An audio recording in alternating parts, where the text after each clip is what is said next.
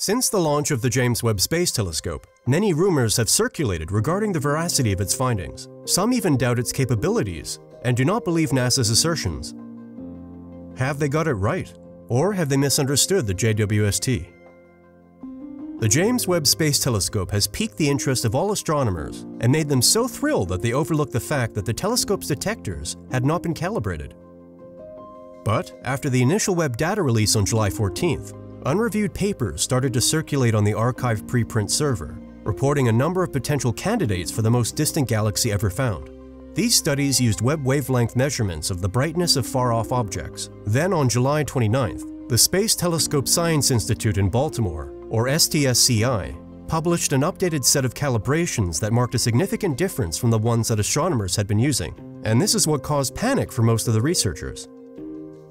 After that, the STSCI made it clear that the telescope's initial calibrations were rough, and much of the problem stems from the fact that Webb is a new telescope whose details are still being worked out, and it's been a long time since the community has had a brand new telescope in space, especially one with such amazing transformative powers. Working with Webb data necessitates a variety of calibration techniques, but the near-infrared camera, or NIRCam, one of the telescope's primary instruments, is at the center of the current debate. Six months after Webb's launch, STSCI researchers calibrated the NIRCam, but due to the demands placed on Webb, scientists were only able to aim it at one or two calibration stars and collect data using one of NIRCam's 10 detectors. The calibrations for the remaining nine detectors were then predicted.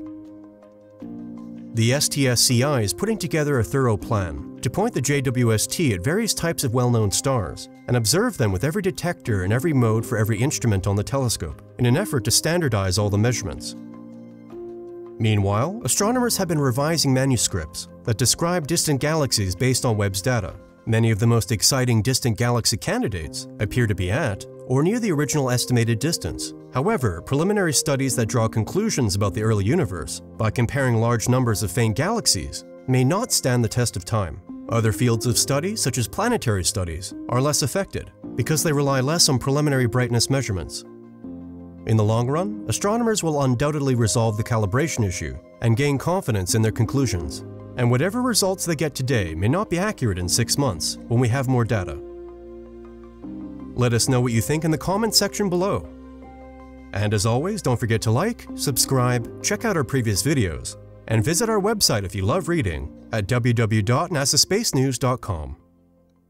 Thanks for watching.